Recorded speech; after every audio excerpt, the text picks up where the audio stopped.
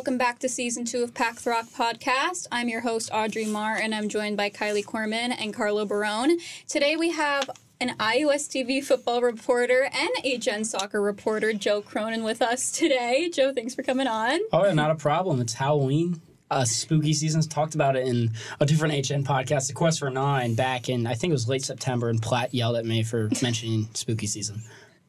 well, it is spooky season today, so Anyone got any costumes? Anyone have any costumes this weekend? I mean, I could say I'm like a skier right now. This is a steamboat sweatshirt, and on my jacket there's a, there's an old lift ticket, so I'm a skier currently.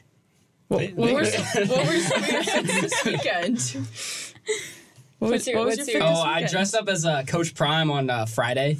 That was sick. I had the white cowboy hat, a little little, little coach shirt with a cowboy hat on the shirt too, Nice. and just these fun sunglasses. I didn't buy it from his sunglasses store because it was sixty bucks. I just bought these like ten dollar little whatever's, but it was it was fun. No one will know the difference. Uh, no, yeah, still, still you're still Coach Prime. Carlo? basically.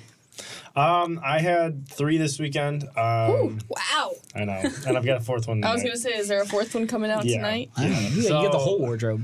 Oh, geez, I gotta think. Lifeguard. That was the first one. Yeah, lifeguard was the first one. Had to, had to do it. Uh, it was easy one. I already had most of the stuff anyway, so it was it was easy. And then I did. I think it was gonna end up being my best one, which kind of makes me upset because I wanted to wear my best one tonight. But I did Forrest Gump on Friday, and that actually looked really good. And I'm should have worn it tonight. And then Saturday I was Bob Knight, which was okay. Um, for the people that didn't know who that was, it was kind of hard to explain. No, you went people- out. You went out in Bloomington, and people didn't know You who would that be was. surprised. You would be surprised. I was like, I'm Bob Knight. They're like, who's that? I was like, if you don't know any of basketball, uh, you're not gonna get my costume. You might as well Did you keep carry a chair around with you? I actually, I had a little chair. I, you guys are gonna laugh at me. I went to the Hobby Lobby doll section and I got a chair about this big, and I put a carabiner on my belt buckle, or not my belt buckle, my belt loop on my pants, and I had the chair just kind of sitting like right on my thigh. That's elite. So they'd be like, "Oh, why, why are you I'm Bob Knight?" good point, points for Right? creativity. That's I kind of wish I could have seen you like in the doll section shopping for the Yeah. Uh, Oh, that's the one. I got in out there really fast, but I, I had the chair ready, so people would be like, "Oh, what are you? Are you?" I'm like, "Oh, I'm Bob Knight," and then I had the chair, and I just kind of like go like this, and they're like, "Oh, I got it." And of course, I took it off and threw it a couple times. but you got to. And then tonight, I'm gonna be John Wick, so I got an all black suit, black shirt, black tie, and then after this, I'm gonna get my face touched up with some fake blood. So Oh, nice. You know, slick back the hair too.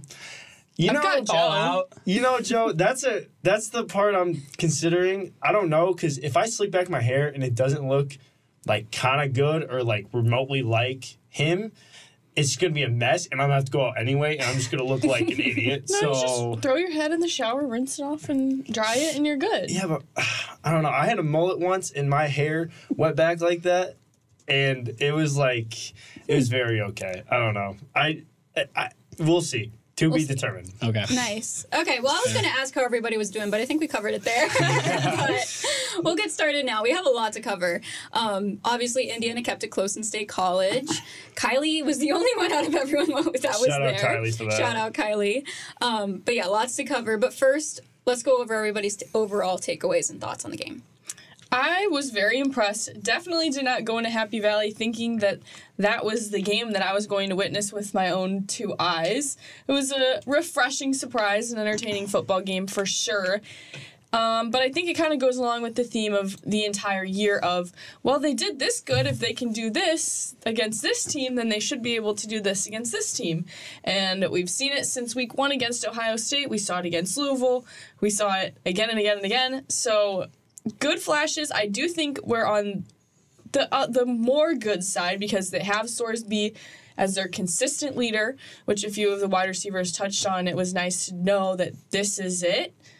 We'll see if that is really it, but I think that was a good game to go into the final four games of the season. Yeah, this looks like a game where the uh, the Hoosiers have a quarterback one for the first time all season. No more turmoil. Like for the last four games of the year, they should ride with Brendan Sorsby. He looked pretty sharp. Couple miscues here and there. The interception wasn't great, but had some good looks. That deep ball to Carter was great. I mean, right into right into the bread basket. He took it to the distance. I, I don't know. I like the way that he looked in that game. Obviously, you know, he's young. He's a redshirt freshman playing against one of the best defenses in college football, on paper at least. But yeah, I mean, it, it's a tough environment to play in front of 105,000. I think this game too, we kind of saw how Brendan Sorsby and Rod Carey kind of started to mesh a little bit. I mean, they scored that many points against one of the best defenses they're going to play all year, and the other defense that you can even compare it to would be Ohio State, and they only scored three. I understand the quarterback situation that game versus now was completely different because they were rotating guys. They weren't even trying to win the Ohio State game, and they were try- clearly, for the most part, trying to win this game. We'll get to that later, but. Um, I think, uh, yeah, I think the offense meshed well and was easily their best game of this season against a quality opponent on the offensive end. I would say. And you all brought brought up good points about Brendan Sorsby. Obviously, like he had himself a day, and this Penn State defense is one of the best in the nation. If you had to pick, like, if you had to look from looking from overall in the game, what do you think went right for Indiana on the offensive side of the ball? It looked like they had more trust in Sorsby to kind of just mm-hmm. launch it. I mean, once again, that touchdown to DeQuece Carter, he just stepped up in the pocket, let it loose. It was almost out of reach, but I mean, it's just moments like that. You have some trust in him. He had a great read on that touchdown to Omar Cooper. He had to fit it in a tight window, and that was right after he lowered the shoulder and then it was banged up on the last few drives. And it was just moments like that where it seems like they're letting him throw it 20, 30, and obviously on the Carter when he chucked it probably 40 yards in the air. I feel like they've had more trust in him, even during the quarterback battle, all this back and forth nonsense. I feel like he they've always let him throw it, be a little bit. They were a little less cautious with him than they were with Tayven. I liked how they kind of let him loose. Um, just looking at his numbers, thirteen and nineteen. I mean, that's pretty good against Penn State defense. That I mean, their defensive line is ruining teams week in and week out. Um, and I, I will say, I mean, it's kind of off topic, but Indiana's offensive line, for the most part, played a pretty good game, which is crazy to say because the last two seasons they have been god awful. And honestly, that game they looked like a strength. Um, he had time to throw, and like Joe mentioned, he just on that one throw to to Crease Carter that I I was shocked that I was watching. I was like, "There's no way like this is actually happening right now." But you're you're right. He he stepped on the pocket and just delivered a nice ball, led him, and he he scored the touchdown, one of the longest touchdowns in Indiana history. But I, that doesn't happen without the offensive line. I think they played a great game and allowed Sorsby to kind of have his coming out party as uh, the official QB one for the re- remainder of the season. I like what you talk about with the offensive line. Like, hats off to Coach Bostad, just coming in and immediately making an impact. And Josh Henderson ran for almost five yards per carry on 12 carries. That's a good game. Uh, offensively, obviously, running back one only getting under 60 yards of stuff. Once again, this Penn State defense holds teams to like 75 rush yards per game, and the Hoosiers went past that. They had 80 total yards in net yards, I think, on the day, and, and what they gained was over 100, though. So they were able to run the ball somewhat effectively against, once again, a very good defense. Yeah, it's kind of refreshing that we haven't had to talk about the offensive line. We talked about it a little bit at the beginning of the year, but there hasn't really been a negative reason to talk about them. And it is very impressive what Bostad has done with the offensive line for sure. In just one year, too, which Yeah. is crazy. Mm-hmm. And obviously, there's there's been quarterbacks in and out, but it hasn't be- been because of injury. So And that's a that's, first. that's huge. that's a, that is very huge. and obviously, three sacks, you don't want that to be consistent, but it's three sacks against a very good. I mean, they could have had. Yeah. They could have They, six. they have like six, seven. seven on a lot of teams. Yeah, I mean, A team mm-hmm. with talent. Indiana had three sacks on Penn State, if that tells you any of the Yeah. numbers. So A Yeah, team and- with the talent gap, as much as Penn State and Indiana, they only allowed three sacks. I mean, they. It's not like the offensive line is also the reason they lost the game either. No, they so played well. Mm-hmm. I think they, they. I mean, that was one of their best performances I've seen in a while. no, I mean, outside of the very last play of the, or not the last play of the game, but the last offensive snap that Indiana had on the safety, that was the only mishap mm-hmm. when mm-hmm. they let the blind side loose.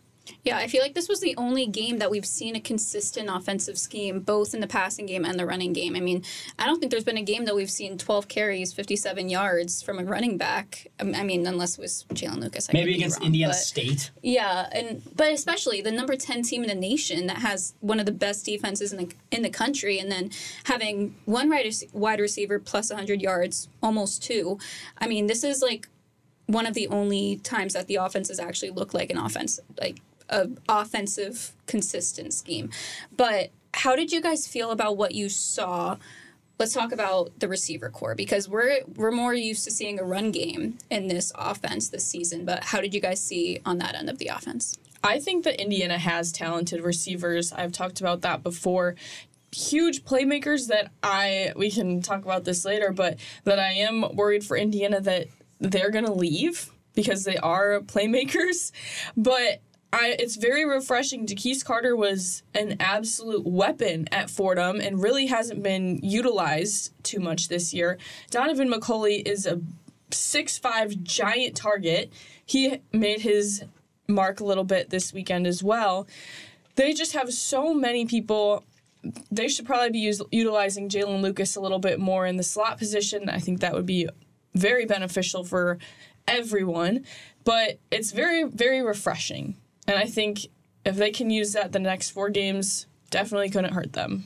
I like Omar Cooper. I always kind of had a mm-hmm. surge. I've this been season. saying that, He's a yeah. good receiver. I saw him way back in high school. He went to Lawrence North, and I went to his rival Carmel. So I got to see him three, four times alongside Donovan McCulley, and they would just pick apart the defense in high school. Obviously, very different game from 6A high school football to Big Ten football, but he's doing those same things. And that touchdown he had was great. He caught in a tight window, the quick move, the quick cutback move, and then took it to the house, and that made it a closer game in the fourth quarter at that. Mm-hmm. I know they they had a good game, but can we talk about Donovan McCulley on that wide open touchdown? It looked like he was like jogging. I don't know if he was hurt had or so something. much space. He's, He also, was. he's six five though He compared looks to like he's everybody running else. He slow. can probably just jog I, compared I, to. I, like he scored like good job, but it looked like he was like he looked like he bricks on his shoes or something. Wait, he covers he covers He's got a like five slow. yards per step. That's true. He is really tall, dude. Source but- said yesterday, someone asked him like what was going through your mind during that play, and he was like, "Can he run any faster?" That, so I mean, it was that was a universal feeling. Yeah. as much as Donovan took that to the house, that's a heads up play from from Sorsby because he saw the corner come right away and he was his first read just to dump it to him and he took it to the house. I, I mean that play, that and the um, DeQuece Carter touchdown. After once they got the Donovan McCulley touchdown, I was like, okay, they're actually they came to play today Yeah, mhm. because sure. Indiana's been scoring right away in the first Yep. quarter, first half, and that's not a huge surprise. But when McCulley scored, that's when I was like, oh. This, this might be a little bit of a battle here. Mhm. But yeah, going back to the McCulley touchdown, Rod Carey. Now, this is a direct quote. there, there will never and was never a more open wide receiver in the history of football. So he better make that play. yeah, Yeah, I mean, I think the only thing that you could noticeably say that really went wrong at one point in the game was within the special teams. Obviously, the month muffed punt, and that was an issue with the Rutgers game that Jaylin Lucas did. But then they decided to put Camden Jordan at the start of the game. First off, on that end, what did you guys think about that decision taking Jaylin off of that starting punt return role? I mean, Jaylin's just struggled in the special teams this year, and I think that's something that all of us have pretty much noticed. And Cam Jordan just didn't look ready. Looked a little nervous. Nerves got to him, but wow. The the shooting yourself in the foot has been such a trend it's an every week thing. year. Every week. I mean, Crimes the- against the team. the difference of the momentum against Rutgers uh, two weeks ago, and then obviously that, it was a tie game, and then Penn State's able to go up 17 14 heading into the break. So once again, the defense is back on the field after holding the, the Nittany Lions to another punt. Yeah, I I'm not surprised, and I understand you have to. I mean, at the scrimmage game earlier this season, I don't think were any of you guys here. It was over the summer, so I don't think so. But Scratching your head like that. but he was muffing punts then. This is not a surprise entirely, so I can understand trying to see what works. If you're gonna have a muff punt, regardless, might as well switch it up a little bit. But yeah, I don't I don't think it was the wrong move. Hindsight, it is what it is. Would Jaylin Lucas have catch that? Who knows? He muffed one last week. He's muffed them before. I think he's just got to play around there still. But at this point in the season, there's not much room to play around on any side of the field. I mean, that's two weeks in a row that they've allowed a punt. Yeah. Excuse me. That's two weeks in a row they've muffed a punt, and it's resulted right into a touchdown. So, um, well, I guess last week was a field goal, but you get what I'm saying. They are scoring, scoring points from the opponent that they wouldn't have gotten otherwise if they didn't muff the punt. Whether I think it, it would be Jordan again or they'll throw Lucas back there, I don't think so. Um, I'd be interested to see if they have a third option, but I mean, then again, if you're going down to a third person returning kicks in the same season, that's that's a problem. So, I think consistency is what they need, but I think the only way, really way to fix this is just it's just more reps, and it's just it's practicing it. And honestly, you can compare this to the quarterback situation as they need someone. They're like, hey, you're gonna catch this ball and you're not gonna drop it.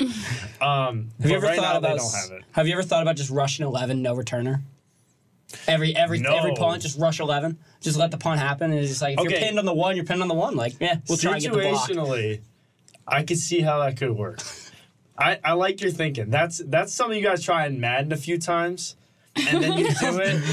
if it works a few times, I mean, see, I've never saw I've never seen someone try that either. I mean, they- you put put some pressure on a college punter and see what they can do. And also, they'll have two. They'll have two gunners on the outside and the punter, so they'll be down two or three people anyway, unless they move the guys in. I mean, regardless, if they had all eleven right there, and then Indiana has all eleven, they're still going to have one more guy because the punter can't block. yeah. So it, it's honestly not that. It, Send Colin's house. crazy. Joe, you Send might the be house. onto something. Honestly, Put me special teams coordinator me, for a game. let me do some quick research. Look, I, it, it's not going to be a 100% thing. You're going to get your your situations where you're pinned in the 10 because some punters are just that guy. Like you got your Pat McAfee's of the world, even though he's retired. But in college, I'm just that's what I'm saying. Putting the pressure. College kickers and punters are the biggest anomaly I've ever seen in college sports because they are so inconsistent, especially the kickers. They're missing 35 yards. think, think about college punters too. Like the NFL, you get it, you kind of just kick it. College, they they, they might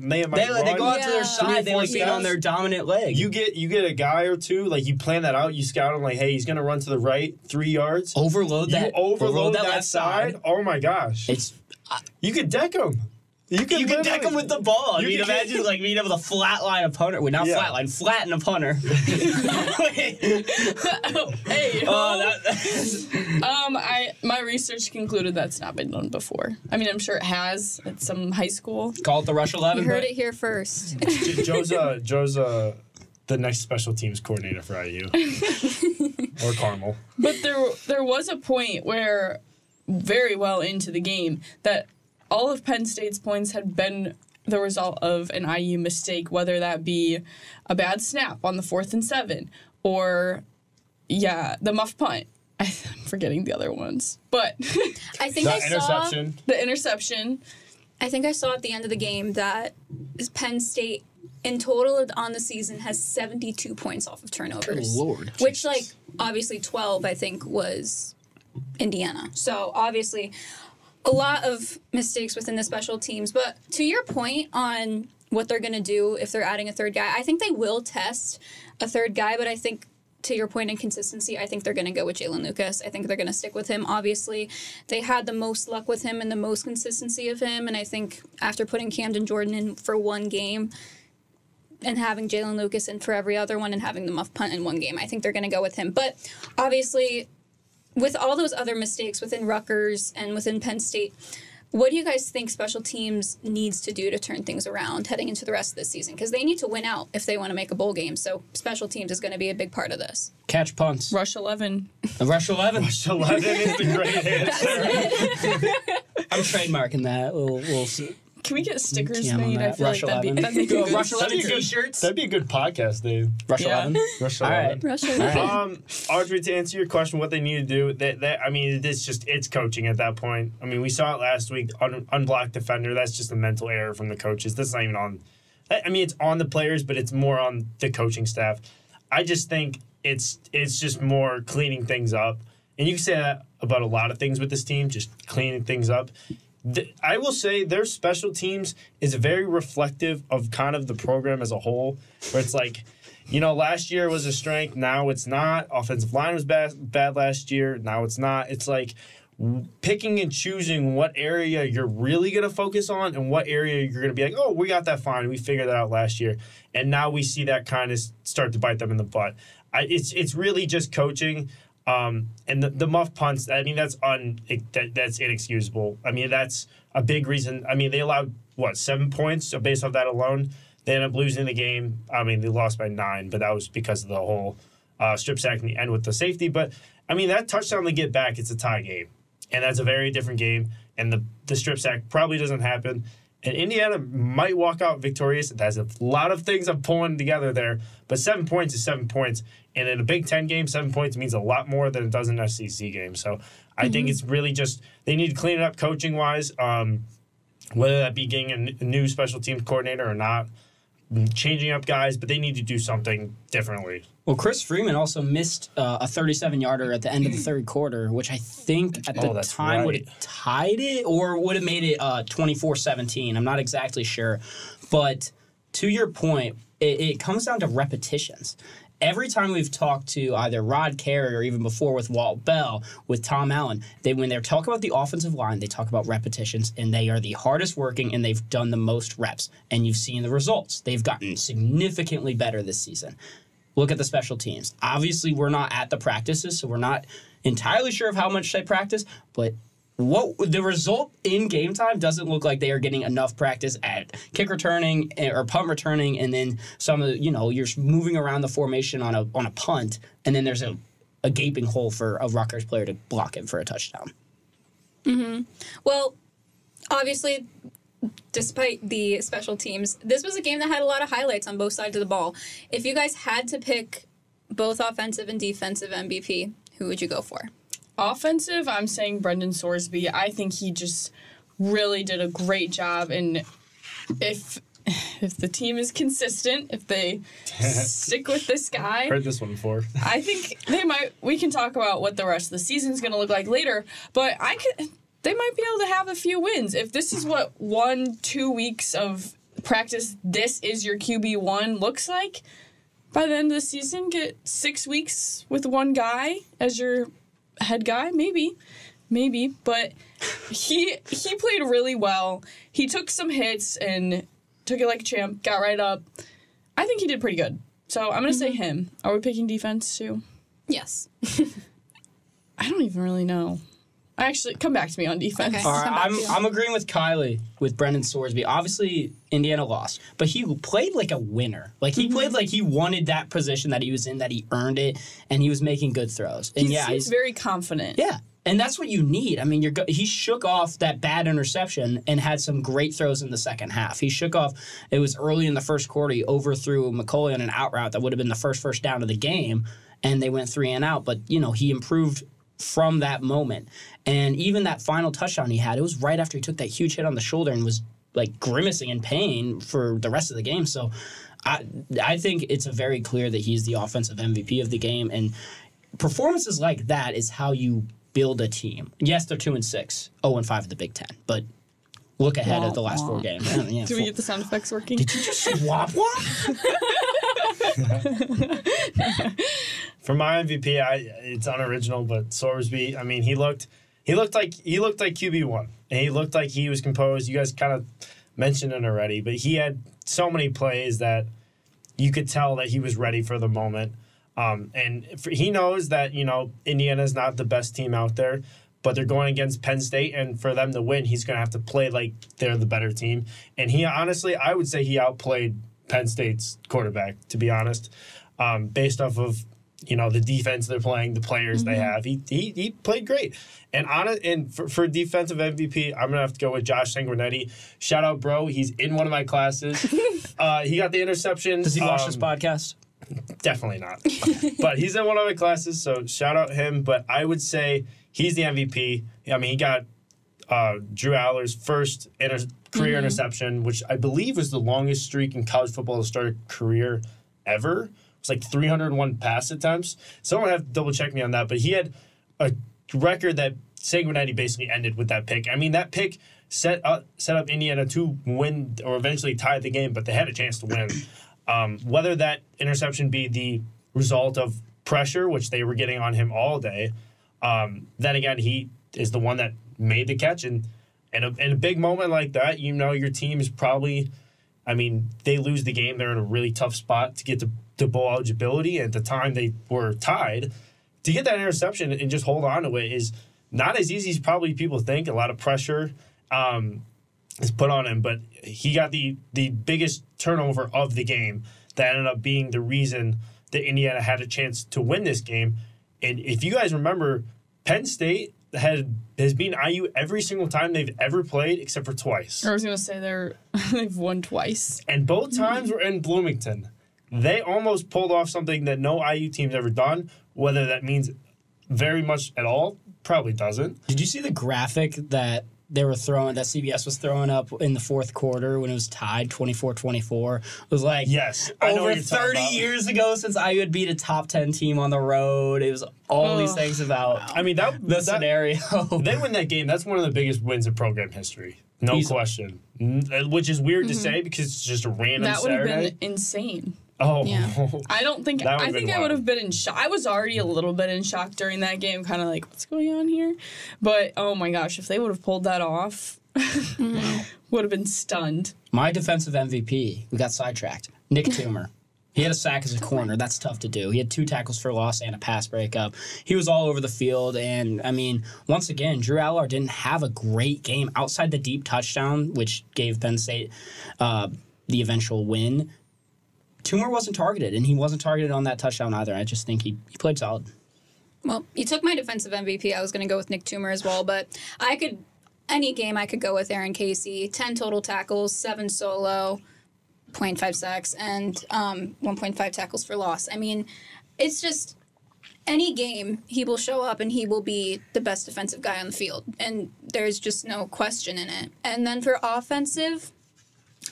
Of course, I was going to go with Sorsby as well. He was obviously the best statistically on the field, but I think I'm going to go with DeQuece Carter only because he had three receptions, but obviously plus 100 yards. But he was showing, like, obviously what he did at Fordham, and no one's really seen that from him yet this year. And I think that if this is, if McCulley, Cooper, and Carter are Sorsby's three primary receivers, and they all play like they did on Penn State, I think the winning for winning out for the rest of the season is very possible. And let's not forget, Indiana's uh, schedule from now on is besides Wisconsin, they I mean those three teams, Michigan State, Illinois, and Purdue, Yeah. are just as bad as IU is. Obviously, we're gonna get a little bit into Wisconsin, but I don't think that's a Winning out, yeah. getting four wins, considering they only have two right now, which they would double their amount of wins. That's it sounds weird on paper. Is like okay, they've only have two wins, and it's it's November now. Like, there's no way they make a bowl game. But their schedule was, I mean, for being the Big Ten East, they lined up really well for them to to get a bowl game. I think the hardest game is this weekend, but I will say Tom Allen has. We'll talk about this later, but Tom Allen has definitely played Luke Fickell well um, in the past. So you play like that against Penn State, you, you bring that to Bloomington. Usually they're a better home team anyway. It could get, it definitely could get very interesting. Respectfully, um, let me let me pull this up We from might be last year. Pulling up their receipts Respectfully, here. I'm going to call Cap Please. from the first season of IU Cincy two years ago was a very good game. And that was a game that Indiana might have been able to win if Micah You're McFadden. talking about 2021? I'm. You said that Tom Allen plays Luke Fickell well. Last season, Cincinnati beat IU 45 to 24, and it, it was not. It was, it, like was, it was over in the first half. it was over in the first quarter when. Uh, I But let, let me Trey ask you. Let me Tyler ask you. Scott, one of the i- two. Is that team better than this one? No. Is the 2021 team better than this one? I would say no as well. And if you remember in 2021, before Micah McFadden gets injured, or not injured, tar- gets taken out of the game, that game was neck and neck. And that game was also on the face of the sun, too. But. I Um, do remember that game. Oh my god, I was sunburned for like three weeks. But regardless, I'm just saying, I you have you have two sample sizes, and one is an absolute like blowout. but also if you look at the second half of that game, they played a lot better. It's the, it's the second half. They scored two touchdowns. Ooh, well. I mean, it didn't. it- Respectfully, like Yeah, but you were down one, 35. One half out of four, they played pretty bad. I think that's all right, especially with the talent IU has, considering Cincinnati was in the playoff. but that no last year that last season was after they'd pretty much cleared house of their playoff team. I, I know, but still, Cincinnati's a decent program, or I guess they were before they lost him. Like but- they were they were solid last year, but I'm just saying like. mm. I don't know. Well, we can get more into the Wisconsin talk in a second. But to close this out on the Penn State discussion, do you guys think that this game was the turning point for Indiana and has everything finally clicked? I think it could be. I was gonna say I would love to say yes. Yeah. But I again, like I said earlier, that we've just had so many of these moments so far this season. Like, what if so many what if moments? What if they played like they did that first quarter of Michigan? What if they beat Ohio State that first game? What if they beat Louisville? All these what ifs, and nothing ever comes to fruition. So I think this one is very on the line. Just seeing the attitude, like yesterday at Monday pressers, of the players, that is the most cheerful, the best mood that any of them, the coaches, players, have been in on a Monday presser. So we can read into that a little bit. I'm hoping that they take this energy, this attitude that they were neck and neck with a number 10 team, which Penn State's Penn State. That's a good team. It is not a top 10 team. They have struggled the past few weeks. I don't I don't think they're anything super special. I mean, uh, probably still ranked, but I don't think that they were anything crazy to IU. I mean, obviously Michigan and Ohio State were more challenging, I would say.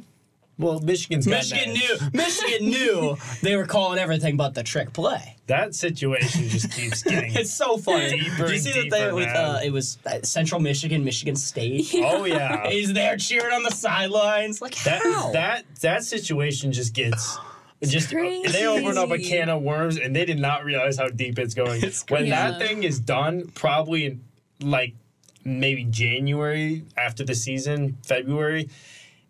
There's gonna be some big sanctions against Michigan. I wouldn't be surprised if they're banned from the playoff for a year or two. Well, didn't they um, take out their? Well, they didn't take it out, but like the contract for Jim Harbaugh, the contract extension, they removed. So I don't know. That could be interesting to see. Well, I just don't under. Let's look at their schedule because that's a good that's a good Michigan team, mm-hmm. regardless. That's crazy. Crazy. That you're, Regardless. that's So crazy that you're sign stealing when it's this like the state of what Michigan State is. So right their now. first game was against East Carolina, tough matchup. then University of Las Vegas, Oh, then UNLV. Bowling Green, then Rutgers. Hey, that's Connor Bazelak. Don't disrespect. I'm not hearing any oh, teams that we need to steal signs for.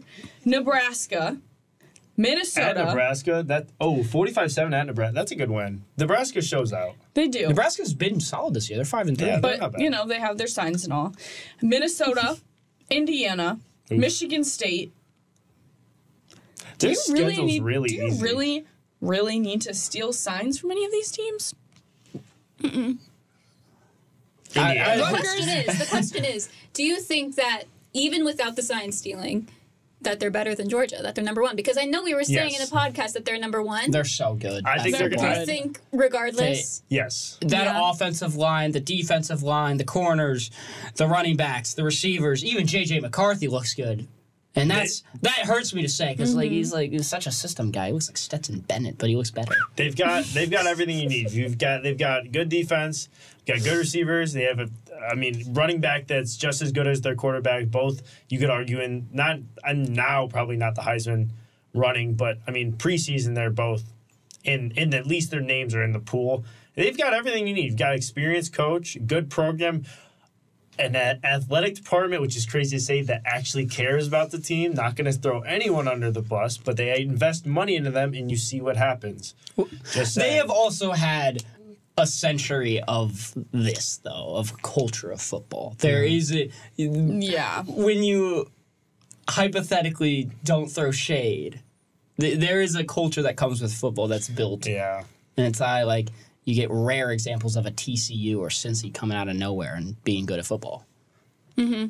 all right. Well, Wisconsin talk. Um, well, okay. So we're going to move on to the Wisconsin discussion, but stay tuned for later this week because we're not going to do a big preview of Wisconsin. There's going to be another episode where they go into a deeper dive into the Wisconsin game. But for now, let's give a couple of predictions. First off, Monday presser or some somewhere, Coach Allen said that Luke Fickell um, has a completely different offensive scheme with Wisconsin than what they've seen in the past with with, with Wisconsin. Does the defense handle this offense? Can they? Yes. Yes. Uh, the reason is is because Wisconsin has been a ground pound team since the dawn of time. There have been big running back names, eh, really in the 2010s, even before that. Melvin Gordon's one, Montee Ball, Jonathan Taylor, you name it. It goes on. It goes on. Braylon Allen is one of those guys. Obviously, he's hurt. That's terrible disease, had a Is great he season. still questionable right now? I I was looking at stuff. He's still like there's not I'd really say been any That's a report. big. That's, That's a huge. big, that's a big huge loss. player. Luke Fickell comes in, and what does he do? He brings in the offensive coordinator from UNC, a team that passes the ball like nobody's business. They run an air raid style offense at a team that runs the ball a ton. For an air raid, you're going four, even five guys out. You're spreading wide and up the field with very athletic big receivers that Wisconsin doesn't have. Right now, they're top two receivers because they have another receiver that is injured. That's injured. It's uh, Chimere Dike. He injured his leg against uh, in their last game against Ohio State. Will Pauling and Bryson Green. Bryson Green's six foot. Will Pauling is five ten. Those are your top two receivers that you have heading into Indiana, and this is an Indiana team that has defended the pass pretty solid. Like they've not done a bad job against defending the pass. I would definitely be more concerned about the run game, especially like when, when they get a quarterback they can that can run. They don't know what to do. So if Braylon Allen does play, that's I think not I think it's questionable for- because it was like fourth quarter against Ohio State in a close game, and he was on the sideline in street I, clothes. I did So- just look it up and it said he had a high ankle sprain. He didn't practice Sunday and he's mm. questionable for Even this if he weekend. plays, though, he's not going to be as He's- effective. he's no, gonna be a Yeah. limited high, snaps. high ankle sprain is Yeah. tough. You got to plant. You I got mean, this is already Cut. this is that if um, Braylon Allen doesn't play, that's their top two running backs that are out because earlier in the year his name's Chez Mellusi. He broke his fibia against Purdue. Jesus. Yeah. Jeez. Oh, I, I was, I was watching their highlight. I was like, "Ooh, that's a, it, was, it was gross." Poor guy. So we got Jackson Acker, who's going to be stepping up to the plate. Hasn't had a ton of playing time, and then also no Tanner Mordecai. This team has. There's something about Wisconsin teams this year that have been extremely injury prone, right, Carlo? Are we Let's- getting let's get- Football now? teams in that? Wisconsin that get hurt a lot. Are we getting I, into I that? know. That, that- I mean, even week one, after the bye week, they had 10 guys. All right, I'll stop after the Packers talking for this. After their bye week, you have 10 people on the injury report? Come on. The page was full. It was a full, Oh my- full page. Was that- And they were was the- all the Raiders, players. Packers, it just Jaire Oh my gosh. Jaire Alexander, Aaron Jones, Christian Watson, just- everybody, I- everybody. uh, speaking on Wisconsin, now just looking at their last three games, I mean, they're one and two, and their only win is a four point win against Illinois, who is probably just as bad as IU is. So it's not like Wisconsin is playing great football as of late either, considering they lost to Iowa 15 to 6. I understand Iowa's defense is good, but like six points at home, uh, and I'm pretty sure that's a rivalry game. That's that's that's rough. I mean, 25 against Illinois, Indiana. I mean, they scored 24 against Penn State. If they're scoring that, I mean, they can definitely put that on Wisconsin. They only scored 10 against Ohio State, which is you know seven points better than IU is. But I would say if IU played Ohio State right now, they definitely score more than three points. I mean, this, is a, this is a solid Wisconsin defense, and that's another thing. They've always had good defenses in the Big Ten. Obviously, they're the Big Ten West, so you only can, good Wisconsin defense in You state. can, you can. I'm sorry, I was, I thought you, You said, said we you're were done. I'm not. You're done. I'm so fed up. I'm so you, fed up. nev- you can never be done when it Oh comes my to the gosh, I can talk about this for an hour. I mean, as could I. But You, wanna, you guys want to pen- talk about Mike Ca- or not Mike, but Matt Canada? yes, because we can Irrelevant. talk about that. NFL pod coming soon. Okay. Joe Brennan has one in the he? trenches.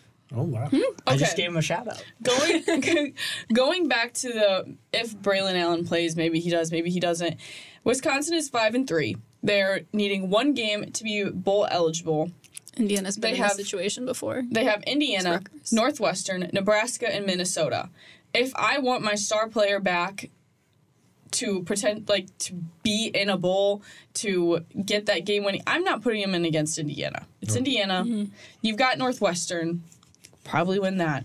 Nebraska might Northwestern be tough. just beat Northwestern, Maryland. yeah, Northwestern they beat beat- Maryland. Okay, I was talking about this earlier. The transitive property does not work in the Big Ten. I love It how dysfunctional the. Big Ten has been this year. crazy. And Maryland was looking so good in those first five weeks. they just- They oh. what were happened? five to zero. What happened? Gone. There's the Indiana Ohio State, the Indiana Akron, the Indiana Penn State, the Penn State Ohio State, like the Maryland Indiana, Maryland Northwestern. Shh, it just doesn't make sense. Watch Penn mm. State just like win by like three touchdowns against Michigan. I think that's in two weeks. That would That would break. be- that would break the conference. That'd be It's not going to happen. It's not I, I saw something on Twitter that said like the top are like the lowest scoring offenses in FBS, And I think Yep. out, out of the bottom eight 10, of the 10. eight of the 10 were Big Ten. Six of them were Big Ten West. Michigan State was the dead last. Then you got IU like 0.6 or something ahead of them Nice. at 18 something a game. And you just go up, it's Iowa, Illinois. You just, it's it's rough. Now this was for Power Five conferences, though. It wasn't Oh, FBS. then yeah. But still, correction. that's- but still, it's crazy. I don't I don't know the exact math, but we got 14, 14, 12,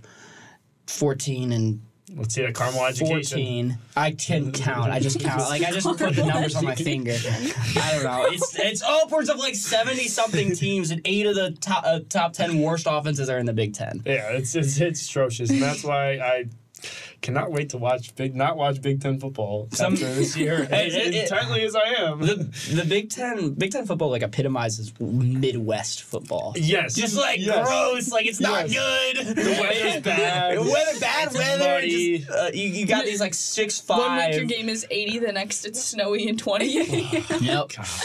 Think about this. Too. You got the when- Iowa uh, spread at under thirty somehow. Th- think about like a UCLA at like Rutgers in like November.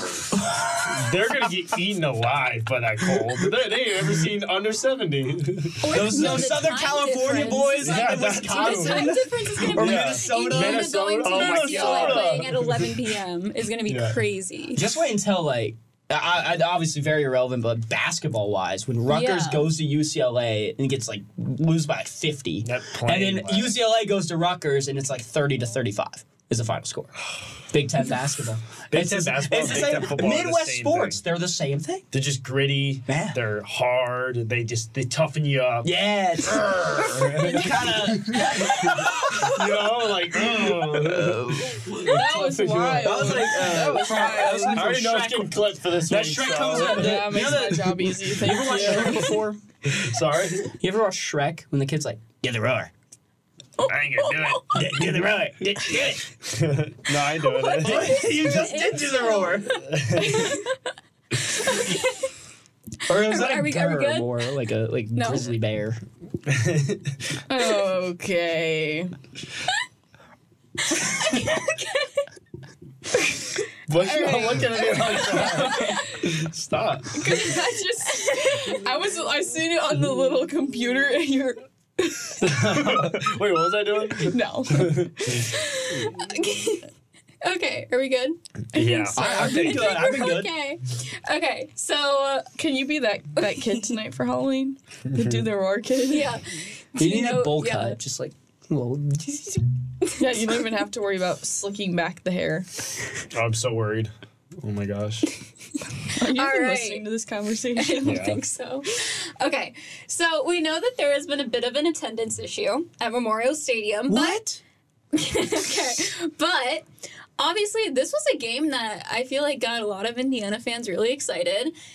The exception that, well, no exception. It is a noon game on a Saturday. Got a cold front coming through. It's actually freezing today. Following, Shout out um, following a Halloween Shout out weekend. Cody. week. Shout out Cody. Um, anyway, how full do you guys think Memorial Stadium will be It's gonna be this, this. Saturday? It's probably gonna be Agreed. it's probably gonna be its average, not that great. But also, we've been talking about Indiana doesn't play well on the road. Well, they don't. Quite frankly, they don't really play that well at home either. Sometimes I think they might play better on the road, as we saw this weekend. I don't think that they would have done that to Penn State at home. Well, theoretically, though, they're never playing with a full. Memo- they haven't played with a full Memorial Stadium or a full student section at home yet. So I think, like, It's not going to be full this Imagine It's if not, fans were but- allowed in 2020 when Penix did the little, little dive. Dude, they would have stormed the field. It would have been one of the best moments Sorry, I was in college. I didn't cover the team. I was fully a fan at that point. It would have been one of the best moments in college, and we were just robbed of it because of the pandemic. So, mm. not fun. I always wonder tell me how you really feel. on like the marketing clips and like the hype videos and they have a f- like even the pictures at the stadium they have a full memorial stadium and i'm just like When did you Are take you, are you that? sure about that? when was that Are you sure about that? Wait, why are there uh, three fans that are the same in different rows? I just I just really wonder like did we get a little creative here because I will I say mean, the creative it team's been made pretty good. it's Creative made for cloud. some hilarious moments, like against Akron when it went to overtime and they switched the field and you got like the, the probably like hundred or two hundred remaining students and they had to run across the, the bleachers to the other side. That was funny. that That, was was good. so funny. the shirtless student section which we really haven't seen much of this year. This could be a game. I feel like this could I be a think game you're we right. see it come out. I think you're right. I think this It's may be cold. it. We- exactly. we've seen a Oh. few That's what I, they I guess need. that, We've seen Yeah. a, few little kids try to like bring back the tradition, three. but it's never really stuck. So I think I think that's something we can look for in the Mm-hmm. coming games. Yeah, I agree. Only two more at Memorial Stadium. So That's crazy. And the thing about the, the Michigan State game is that's right when Thanksgiving break starts. Like that's the Yeah, everyone's going Ooh. home. yeah, no one's Yeah, gonna be at no the one's Michigan gonna be State there. game. So actually, I feel like people might actually be at this one. This is This for is a lot of this people. is the last this is game. their last chance. Yeah. Oh my Oh, gosh. seniors. Ooh, And oh, if you me. and if you watch old, uh, Hey, why'd you flash Stop. to us? if you watched if Young. the. Uh, okay. if fans watched the Penn State Indiana game, they're like, "Wow, That's that's, the number saying. ten team in the country." That's what I'm saying. Might as well go and I saw a little too many That or so Breakfast back Club? tweets. So, oh, well, tailgate fields too. Usually, I feel like it goes Breakfast Club. You kind of stumble over to the fields, and then you go either into the game or you go. home. you fall asleep at you fall asleep at gate five. we fall asleep in the tailgate fields. Should we go through and talk about if they're gonna win these what games they're gonna win out of these last four? Or I don't know. We can, Yeah. we can quickly do We it. Just can. a little quick Get the brooms. Get the yeah. Really? I really, No. Okay. Well, I think it's possible. no, I think why not be is. bold? It's fun to be I bold. really think that this is a good two and six team. Like Best two and six team in the country. like, I don't know. It is. I think it is because I mean, who would have thought that it was a thirty point spread at Penn State, nine point loss. I mean, I don't know. I think that there is a chance. I really do think that they can do it. I think that when it comes to Indiana football, quite literally, anything's possible except, you know, a super huge accomplishment. But because they're But just so unpredictable, but when you use that unpredictability, you can then predict that nothing's gonna ever happen. It, that's Yeah. exactly what I was They're saying. not ending two and ten though. No, No. I think No. they get at least one win. But I think winning One. winning four games in a row. That's four consistent performances in a row without messing up. And then go bowling. But going back I'll to book that, my plane ticket now. going back to that um did everything click question i think that obviously the defense has been fairly consistent i feel like throughout the season. It was really just the offense and now the special teams too. I think that obviously rod carey like they needed a couple weeks. I don't think i think they were using the same plays that they had and they were just seeing what works. That's what they've all been saying. And I think that they found what works. I think that they found the people that it works with, and I think we'll see it definitely more this week. But to see that against the number 10 team in the nation, I think is crazy. I will say, I think, I mean, you have to think about how hard these dudes are working. Just because they're two and six doesn't mean that they're not hitting the weight room, hitting practice every single day, and that's tough to keep on doing and trying your best when it's not going your way. I think the only thing that's really keeping most of this locker room together, and this is all speculation, obviously, we're not in the locker room, but I think the idea that they still could potentially go to a bowl is that's their motivating factor right now. So if things don't go well this weekend, I would not be surprised if a lot of people just say, I mean, obviously they're still going to show up, but why risk getting hurt? Why w- risk trying for what? Especially Mm-hmm. guys that can transfer to. Guys that can transfer, seniors that, whatever, they've had their fun. I don't want to get hurt for the rest of my life. I want to start training for getting ready for the draft process, whatever that may be. So I think this game is actually might actually. I mean, again, like I said, this is all speculation, but definitely a point to think about. Mm-hmm. like what like you said, I think if they come out flat against Wisconsin, they just get blown out. I think they're going to make the last three games a little bit hard on themselves. But this weekend is huge. Motivation's a big thing, as you mentioned. I think they have the. T- I, I don't want to say the talent. I think they can win the last three games, and I think they'll be close. But this Wisconsin one is the only one I could see that like it could get real messy real fast. But if it doesn't, and if, if they're in it to the end too, that will just break their hearts, especially if they lose because At home. I mean, you you see that you got the Penn State game, you just narrowly lost, and I, we mentioned it about two months ago, a month ago. That Louisville game, it could come to bite them in the butt, especially if they are one short. Let's let's just say they lose to Wisconsin and they win the last three. They'll end five and seven, which would be crazy because they'll have three Big Ten wins, which will be more than the last two seasons. But then you've got Louisville, who's 15 right now, and you lose by one touchdown in Lucas Oil Stadium. I mean that that game would bite them in the butt a lot, and I think I think this weekend is I think this weekend's huge. And mm-hmm. honestly, this weekend will determine. I mean, it will determine their season because if they lose, then they're they're done essentially. But it it'll determine a lot more about the locker room and motivation going forward, and even keeping guys because. Once you're out of bowl eligibility, the only thing you can do is just play the rest of your games and try to, you know, hold your your good players together. You don't want Jaylin Lucas transferring. You don't want Tayven or even Sorsby getting out of there. Like to keep the locker room and the culture together, you need to win some games. And the minute you're bowl and ineligible, that becomes a lot harder to, to convince them. Hey, come back next year. You see how we played the last three weeks. Um, we can do something. And I feel like the last couple years, I mean, that Michigan State win last year, I think, kind of helped retain some of those players and give some hope to the program. Um, and obviously, they haven't shown it for most of this year, but retaining the locker room and the players and the culture you have, even if they don't win, is so important. And I think Tom Allen will test out a lot of new players, guys that aren't getting a ton of playing time, if they end up losing this game to Wisconsin. Bottom line, this this weekend's huge, and if mm-hmm. they Yeah. lose, it's a lot bigger than just being bowl bowl ineligible. Now, say they end the season five and seven, whatever combination you want to make it, a win against Wisconsin and the two of the last three. Is that an unsuccessful year from the previous two? Because it's an improved record from Like- both other seasons. Obviously, it's not I- success. I would not say it's a successful season because a successful season is going being bowl eligible and beyond. But is that a step in the right direction? If they lose, say they lose to Wisconsin, and you know, out of some miracle, maybe they put it together for the final three games and win three in a row to close out the year. I don't know if it.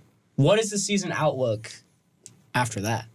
I think I don't know if that's def- necessarily like a right step, a right direction, but I do think that it saves Tom Allen's job.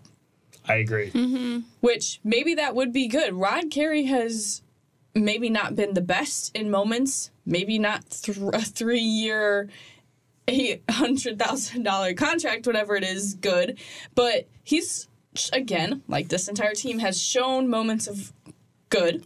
So I think if they somehow end up with five wins, I think everyone's job saved, and maybe it is a step in the right direction. Maybe it is a, a little notch to get closer to mm-hmm. where. Yeah, because then then you look at it be. from the year before when they went four and eight. If they end up five and seven this year, you look into the 2024 season. Obviously, with the schedule having to go, I forget which one is it at UCLA I or think- is it at Washington? I don't know. I think I don't know. I think it's Is here. Wa- Washington's here, and then they're at UCLA. one year late. I don't know. I know. So whatever it is, but if they find a way eh, with after five and seven season, then you gotta have a little confidence that you can build Yeah. from that. I mean, Kylee, to your point of the Rod Carey flashes, I mean, it happened at the right time in the right place at Penn State, number 10 team in the nation. This is the time that you Are they need still to have number this 10? Nine. They're nine now. They wrote they went up one spot. So I don't know. I think like this is the time that it needed to happen and obviously you said at the Monday presser this was the happiest they've all been so they had to have had to have had a good Sunday going over everything, practice. Things have to be going good and I think that obviously Lou Moore said that they're just waiting for a bowl game after the game. Now, I think that they're all on the same page right now. And Rod Carey has had enough time with these guys to know what works and what doesn't. And they're probably testing out more stuff now. So I think that this is obviously the best time for something like this to happen. And I think that five wins is definitely possible. Six wins is too. But um, anyone want to go through some final score predictions as we close out? This might be one of our more We're gonna be yeah diverse ones. yeah.